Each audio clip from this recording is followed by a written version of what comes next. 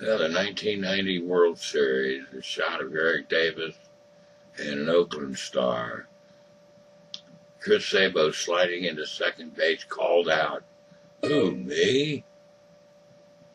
The bench after a home run. And Marge getting a hug from Lou Piniella.